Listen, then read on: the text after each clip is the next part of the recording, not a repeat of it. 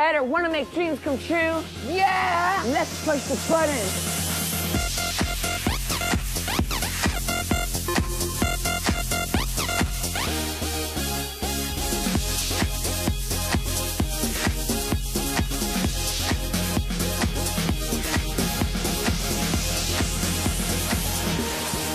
Coming up on today's show.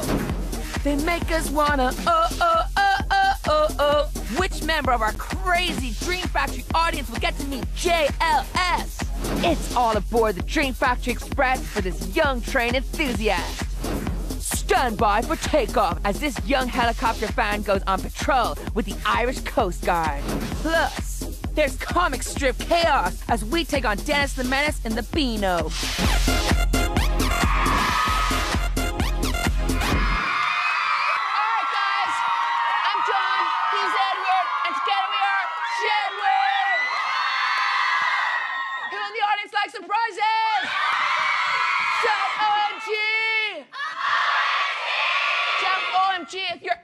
Ella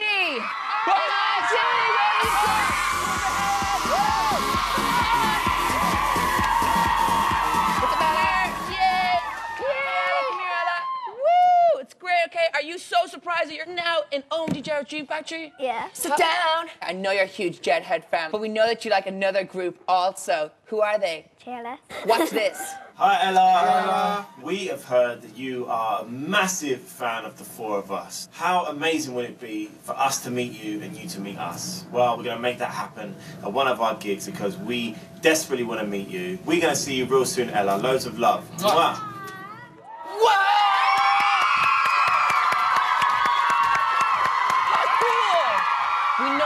Massive fan of JLS and you're a massive fan of Jedward, but who do you like more? Uh, JLS. Who do you guys like more? What, who do you guys like more? Well, Seeing as you like JLS so much, okay, let's have a JLS dance. Come on, let's do this. Oh, oh, oh, oh, oh, oh. Makes me wanna oh, oh, oh, oh, oh,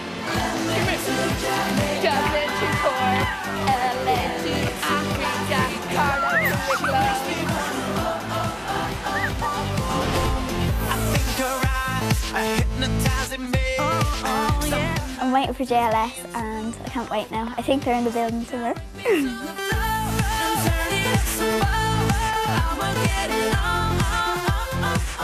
really nervous and excited at the same time. Hi Ella. Hi. How are you? Good. You okay? Hi Ella. Hi. How are you?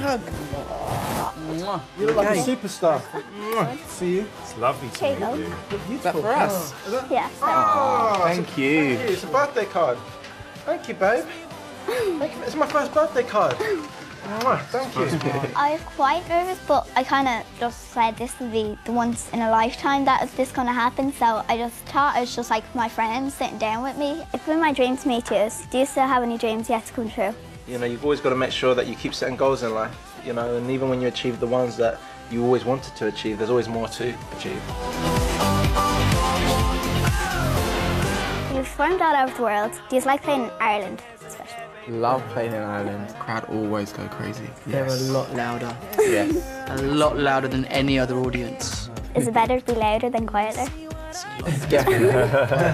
Definitely.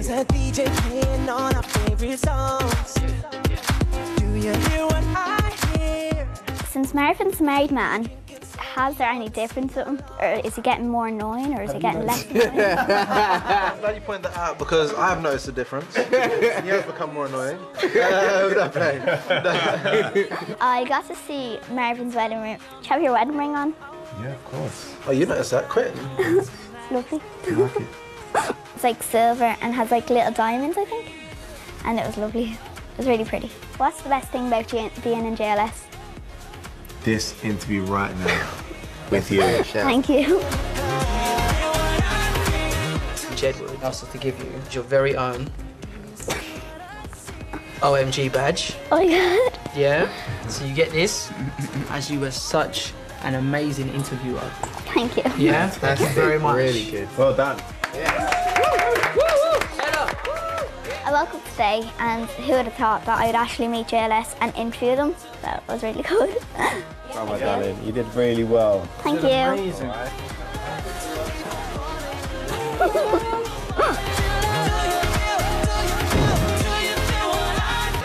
Thanks, Jedward, for making my dream come true. It's been an awesome day. Thank you.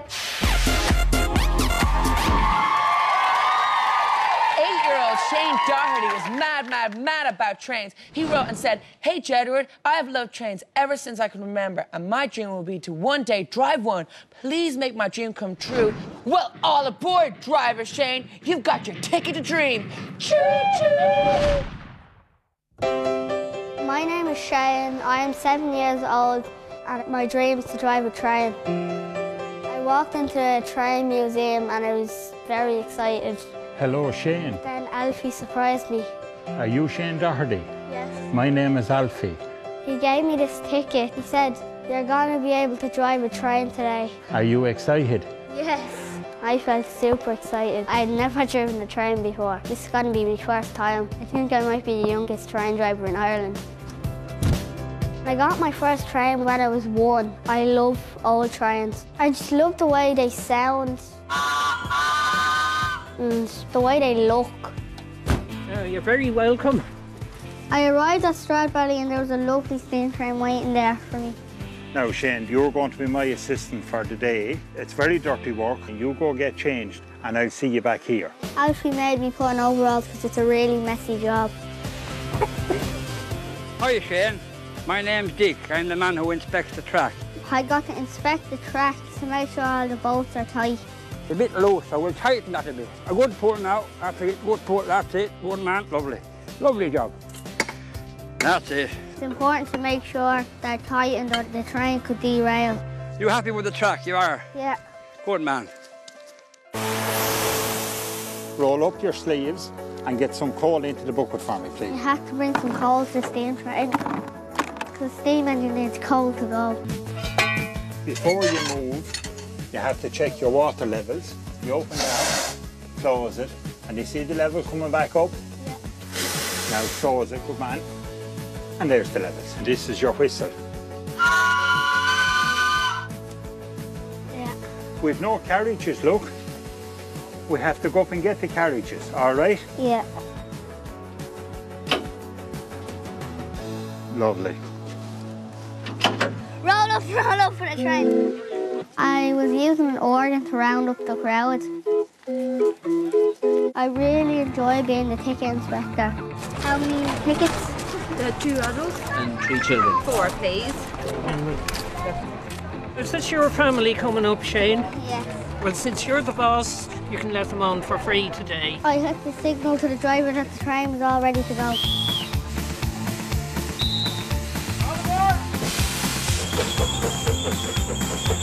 I set off, I was very excited. I pulled the train, the whistle went off. So he's doing grand. Taking over the train, he is. think you want to keep on coming back now, you will.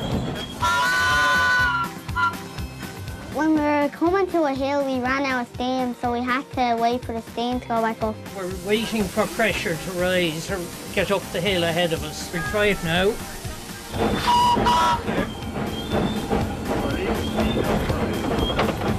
Just made it over the hill.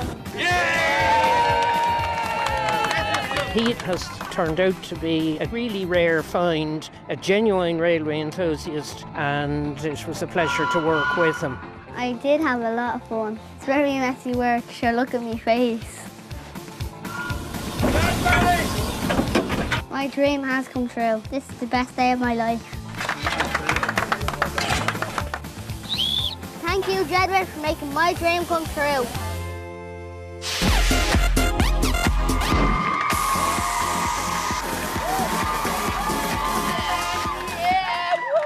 Yeah, come on, how awesome was that, okay? Did you come to the Dream Factory on a train? No. Did you come in a car? Yeah. What was it actually like being in a real life-size train? Hot. Really hot? Yeah. Like super, super hot? Yeah. You like toy trains at home, don't you? Yeah. What was it actually like to be in a real life train compared to actually playing with little tiny trains? Way better. And like, do you like the sounds they make? Yeah. What sounds they make? Choo choo. What sounds they make? Well, Shane, okay, one more thing you need before you go is an OMG Jedward Dream Factory badge. Here you go.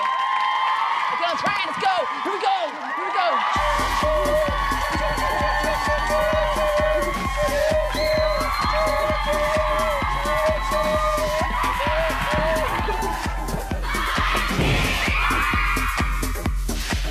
Coming up after the break.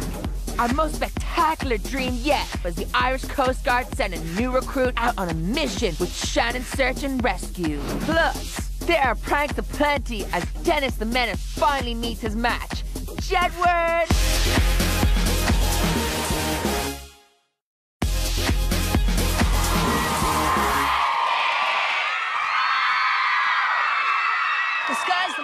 When it comes to us making dreams come true, and that's exactly where we're sending our next dreamer. 10-year-old Leisha Regan emailed us to say, every day I see the Shannon Search and Rescue helicopter fly over my house. It even came to my school once. It is Jepic. I would love to work with them. It would be my dream come true. Love, Leisha Regan. Well, we thought her dream was Jepic too, so we arranged for Shannon Search and Rescue to fly to surprise her. My name is Leisha Regan. I'm nine years old. I live in Shannon, County Clare, and my dream is to ride the Shannon Rescue helicopter. My name is Captain Sean Murphy, duty captain with the Search and Rescue Coast Guard helicopter in Shannon today. I heard a knock at the door, and I thought it was my friends coming to call for me. Hello. Jedward have asked me to make your dream come true. Oh my God, Mom! I didn't know what to say. I was speechless. We have a flying suit here, so maybe if you could put it on, hopefully it'll fit you, and you'll be one of our crew for the day. They showed us the operations room. Our area of operation would be from Cork around the coast to Galway. If anything happens there, we are primary search and rescue helicopter to respond, okay? Yeah. Then we went out to the helicopter, and it was really exciting. The hangar. The winchman's name was Philip, and he showed me around the aircraft. I sit down here with my harness on, Mm. with the hook. Paul, our winch operator, stands up here then, and he's the guy that's gonna sit me up and down. Yeah, so you like to do this? Yep. I don't know why, but I just love seeing the ground move without having to walk. There's a ramp in the back that you can wheel stretchers on. You can track their pulse, their heart rate. They have a life support machine which basically breathes for you if you can't breathe yourself. It's basically like an ambulance, but I can fly. In you hop. Okay. John sat me into the pilot seat and he showed me all the buttons and how they work. You can see we have screens. The one on either side are your primary flying displays. You had to flick loads of switches on the roof and loads of buttons pressed on the floor. It was really confusing. We had to get organised in the operations room. Excellent. Now, this is our weather. So weather's good, guys, for the for the training flight. The flight plan is in. We spoke to air traffic control and they're happy. And then it was time to get onto the helicopter.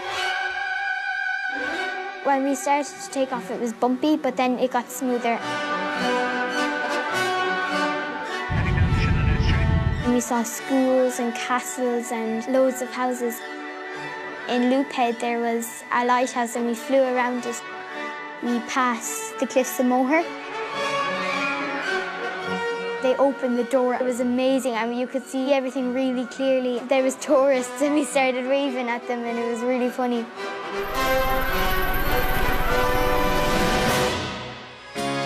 We went to see the captain in flight, and he showed me how high we were and what temperature it was outside. He moved the helicopter side to side and up and down, and my stomach went up and then it went down. It was really cool and creepy at the same time. They did a training exercise with the winchman. They hovered, he was winched down, and they put the harness around the casualty and lifted her up. My role was to be a winch woman. I helped the winch operator and the winchman.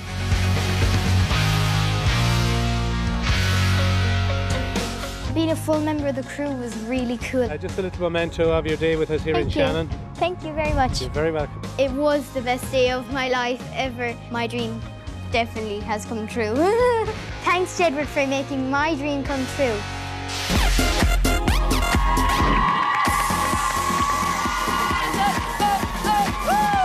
Hey, Alicia, what's going on? Yes, amazing. Everyone make some noise for Alicia.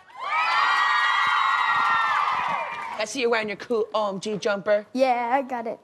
Leash, I'm actually so excited because it looked amazing. How high were you? Uh, 3,000 feet. Whoa. When it came to your school, like, did you ever think that you were going to be inside of it? When I came to my school, we weren't allowed to touch it, and I got to fly in it, so it was really cool. So are all your friends like, oh my God, I want to be on that? You're like, been there, done that? Yeah. Me and Erin have been in a helicopter twice, but we'd never ever opened the door. Were you not scared of like falling out of the helicopter? Um, no, we were like strapped in, and the guy beside me, he was strapped onto a ropey thing, so. If I was strapped in still, I'd still be scared. But like, I'm like, oh my God, this is so scary, okay. When you get older, Kay, do you want to work with helicopters and do what they were doing? Now that I've like learned how they do it, I really want to do it more. so you're not going to be getting a driving license. You're going to be getting a helicopter flying license. Yeah. But me and Ed, I think you need one more thing. An OMG bag!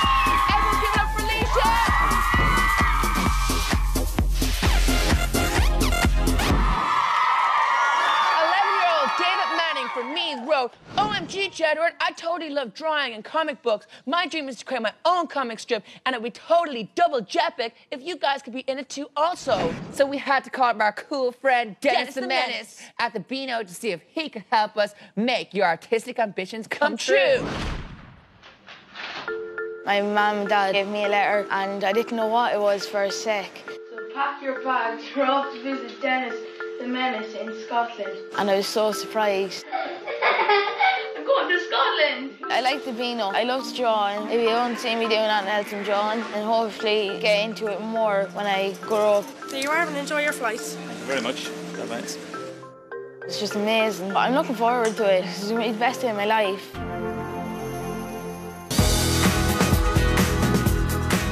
Hi, David. How are you? Welcome to the Beano. Are you ready to start menacing? Yeah. Great, let's get started. Come on. This is where every single Beano that's ever been made is kept. We've seen the first ever Beano. First ever Beano's worth 16,000 euro. I was amazed to see it. Look at the date, 1938. It's even older than your dad. There's a character called Big Eggo the Ostrich. There was the ostrich and a load of other fellas that you wouldn't see today. And then we seen the first ever Dennis the Menace. Dennis the Menace first appeared in the Beano in March 1951. It's a lot more different than today. Totally. The only thing that's the same really is his, his hair and his face. This is where the editor of the Beano arranges to get the Beano out to guys like you. And we've got a bit of a problem. We're four pages short and we've got to get them by 2 p.m. Have you got any ideas? Maybe it's Dennis and Jedward could have a deal saying who could have the tallest hair by the end of the week. That's brilliant. We will go and pitch this idea at the Beano editorial meeting, right? Comics are a serious business. You have to be 100% focused to get things right. There's no messing around. Guys! What are you doing? David, I think it's time for you to take over and give these slackers some good ideas. What would Dennis do to Jedward's hair? Yeah, he cut it and dye blue. Dye blue! Give them a new hairstyle! Tremendous! A lot of people thought it, the idea was brilliant. Hopefully Jedward thinks the same. Sounds absolutely fantastic. You can't believe your ears, can you, Ryan? No, no. I met this fella called Kirk. Do you recognise these two? Jedward. Jedward. This is how it starts initially. I'll do a wee pencil rough. You take it over to the scanner and magically it'll appear on our computer screen. And he showed me all about how to draw on this computer. Hey presto, you appear, as if by magic. What do you think?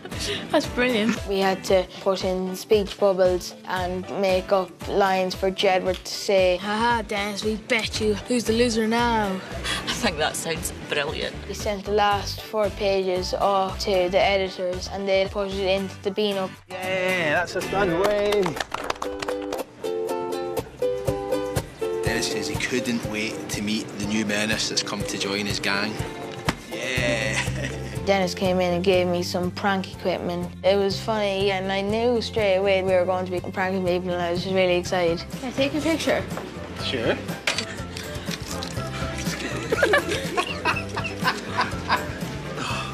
I love doing pranks because it annoys my brothers and sometimes my cousins and my mum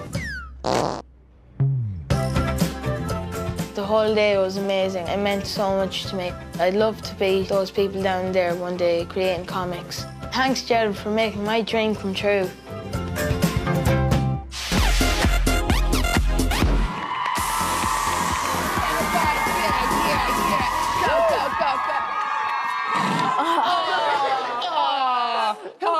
Joe, was it you? Like, seriously. What's it smell? It wasn't me, editor, okay? Uh stinky. Whoever said, whoever dealt it.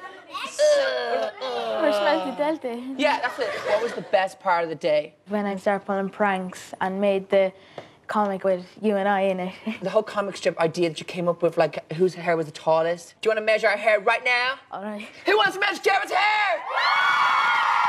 Let's go. Check it out. Let's do this. Measure this piece right here. It's Around 13 centimeters. Oh yeah, oh yeah. Measure my hair, see who's the biggest. Just about 14 centimeters. Yeah! What can I say? Okay. Let's check your hair. Um, your hair's about two and a half. so you got a lot to grow your hair. Yeah. Think how cool it is, okay? We're like in the issue right now this Christmas. Like the and that's all main because of issue. you. Have you seen it? No. Well, here it is. There's there's John Edward, and there's you. And look, there's us with our cool jetty bears. That is so amazing. Never thought it'd come true. What's your favorite part of the comic strip? This bit here. The three of us, the Ultra Team! We've got one more last thing to give you. An OMG Jedward's Dream Factory badge! Here you go. We're so proud of you.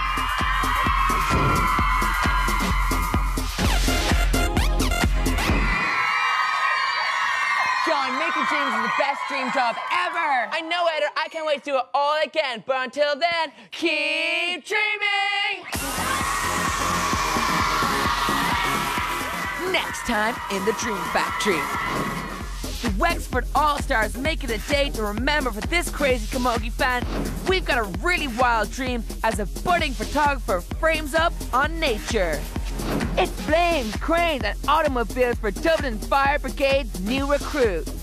Plus, this young MC will be rapping to the nation when we make his dream come true.